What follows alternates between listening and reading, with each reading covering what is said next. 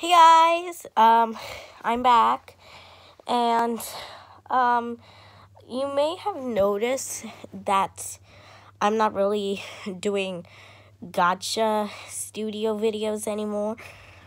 Like, mostly I upload two episodes and one just normal video, like random video.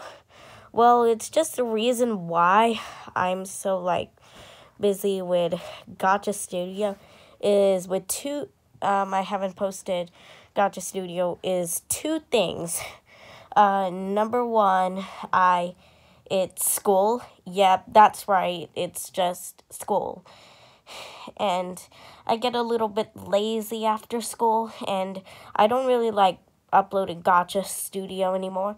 And the second one, um, and the second one is that um, how do I say this? Um, I'm always really busy a lot, and um, I I mostly travel a lot um, to you know meet my parents. Um, you know, not meet my parents. Um, I mean like meet my other family members. But I do have good news. I may be posting um, another gacha video in the future.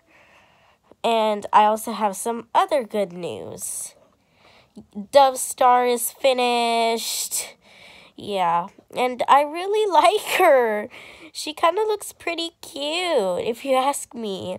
Um, and I really like how he did the stripes, um, the neck tuft, and her little nose, and her eyes, and her paws. I didn't forget about her paws, don't worry. She looks pretty cute. Uh, the gacha video will be coming soon, so don't rush me.